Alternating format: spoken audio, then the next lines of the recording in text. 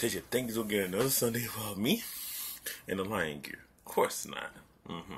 Couple quick things. Uh, I just got done a little earlier watching both those AFC and NFC championship game, and quite frankly, I was very, very, very shocked at the matter of both games were blown out by, especially the first game between the Packers and, and the Falcons. Well, I guess figured out this one. I get Aaron Rodgers, the miracle comebacks are no longer miracles, right? Well, I guess we're done with the 1980s uh, USA hockey team comebacks. Another game, the Pittsburgh New England game.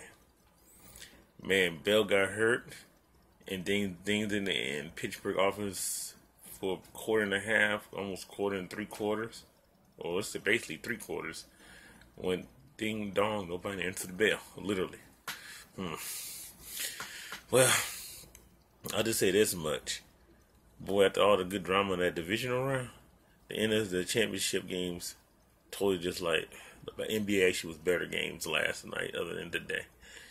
Well, I'll say this much though. Now since Atlanta's playing against New England, you know, yes, Atlanta's hot, high scoring team in the league, but what we always say, offense sells tickets, New England gives the least amount of points, defense wins championships. Hmm. I wonder where I'm going with this. Yes, I think Tom Brady's going to win. Yeah, partially because, yes, I am actually a University of Michigan fan, so you already know I'm rooting for Tom Brady. But that's beside the point.